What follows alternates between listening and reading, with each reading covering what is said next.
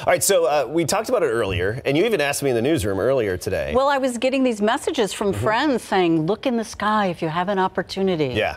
I we didn't know what they were a- talking about. Yeah, we got a lot of emails and a lot of pictures, and I actually keep Play-Doh in my desk, and this is going to come full circle in a second here.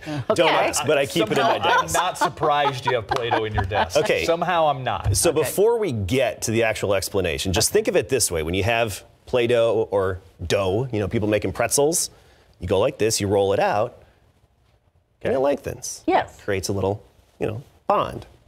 You can make several of them. Just like that. All right, well, let's take a look at the graphics here.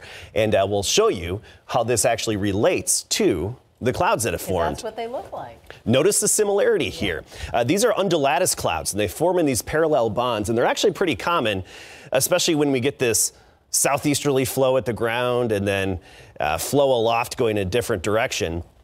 And here's the view from our visible satellite imagery, and you can see those parallel bonds, those undulatus clouds, very clearly here. And I mean, they're especially right along the I-35 corridor, just south of San Antonio and even parts of the hill country.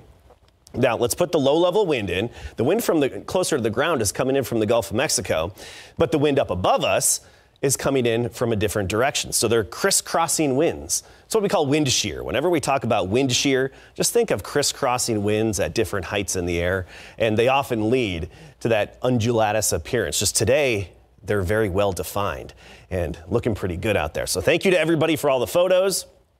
That's the explanation. Here's a view from our city cam. You can see those. They're kind of rolling in the sky. And you see, it's just like rolling out some dough or Play Doh.